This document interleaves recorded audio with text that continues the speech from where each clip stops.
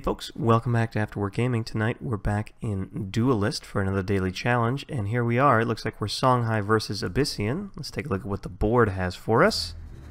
And exactly as expected. So we have Cassyva with 13 health, and she looks to have a Ghost Azalea, which gives her plus one attack for each friendly Shadow Creep. She has an Abyssal Juggernaut, who has a plus one plus one for every Shadow Creep, and of course there is this one Shadow Creep here, so it's a 4-4 and then a provoke Klaxon, who's 6 6, and when he dies, he turns six other squares into Shadow Creep. Uh, for our own part, we are Kaleos with 19 health. Uh, we don't have any artifacts, but we do have our Bloodborne spell, which allows us to teleport minions up to two spaces. We have this little battle pet, Ace. It's ranged, uh, 1 2.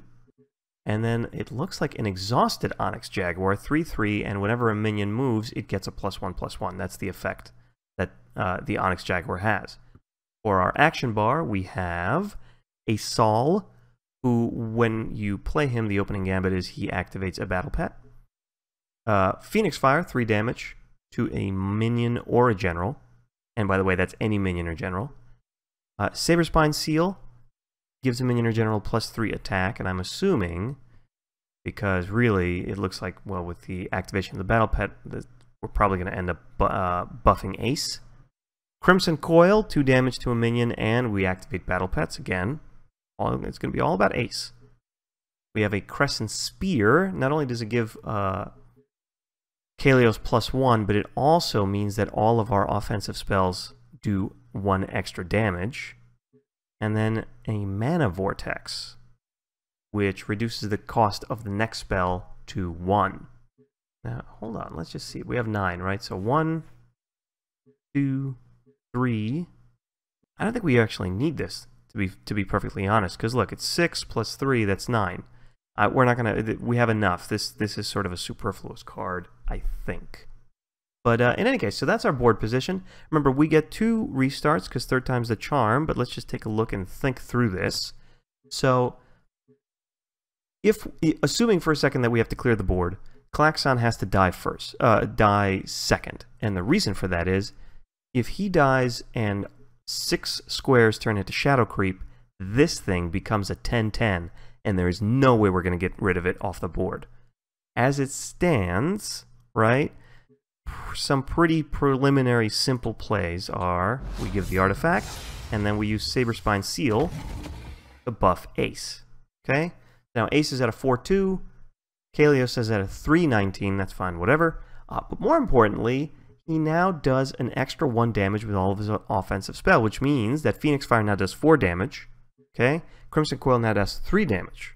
So those are the, the two big things. Now, let's just think through this a little bit more we need to get Ace away on the provoke, because otherwise he's just going to start feeding all of his damage straight into the provoke, which is where the Bloodborne spell comes in. However, if we move him two squares, right? So let's say we teleport him here, right?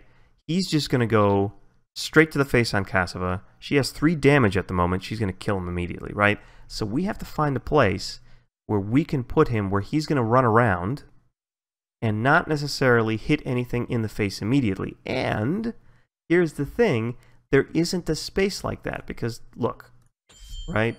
We're not going to do it. We're going to cancel out of this. But any one of these squares means that the moment he's activated, he will run up to some minion, right? Even if he's here, he will either run up to Klaxon or Cassyva, try and attack them, despite the fact that he's ranged. He will move on every turn.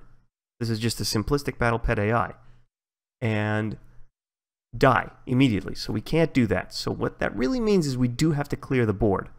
Now, let's think about this for a second. We know he's going to get activated twice. We know he's going to move twice, which means that he is going to be a 6-2 because of the Onyx Jaguar. In fact, he's going to be a 7-2 because we're going to move him with Blink. So that's one movement with Blink, he's going to be 5-2. One movement on his first activation, 6-2 one movement on his second activation, 7-2. Okay? Let's assume for a second that he's going to go both times to the face on Cassyva. 6 plus 7, right? Those are the last two uh, attack numbers that he's going to have. 6 plus 7 is 13. Okay? That's enough to take care of her. What that means, by the way, is that the rest of our, well, really, these two offensive spells should be channeled straight into the face of these two minions to make sure that they do not interfere with Ace. Okay? And remember, Klaxon has to die last. So, let's think about this. We have a Phoenix Fire, which does 4. It should do 3, but we have the artifact, and that gives us plus 1 damage. So 4, we can get rid of the Abyssal Juggernaut. Then, our Crimson Coil does 3 damage. Okay? Now that's not enough, because that's only half health, but Kaleos has 3 damage. Okay? So here's what I'm thinking.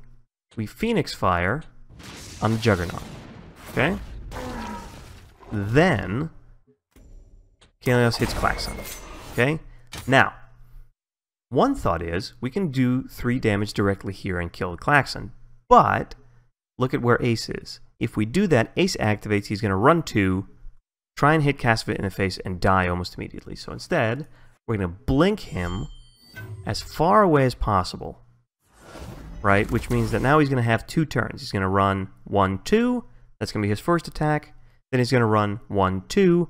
He's going to have a second attack. Then he's going to, well, die, maybe not die. Depends on sort of how the, the, the, the order of operations here works. But all I'm saying, he's going to get his 6 plus 7 attack off. And in fact, he's going to survive because like he's already at 3 health. Okay? So, now, the Crimson Coil, we get rid of the Provoke. Okay? It's gone. It's dead. Now, Cassyva's at 9. Who cares? Nobody cares. Okay? He's now down to 7 health. Look. Ace is at 6. Next turn, or next step, we play Sol. We activate Ace again. He moves one more time. Becomes a 7-5. Shoots Cassyva in the face. And that's it. Okay? Uh, so that was kind of interesting. It, it took a little bit of puzzling out, not puzzling out, I guess reasoning out what order the enemy minions had to die to make sure that you didn't play yourself into a corner and to make sure that Ace was able to get both attacks off. And it just takes a little bit of sort of forward thinking to plan out what the total damage that you could potentially have on the board is, and then executing on the plan. Uh, all overall, very fun, very interesting. If you guys enjoyed this, like, comment, everything's welcome. And in any case, I'll see you all next time.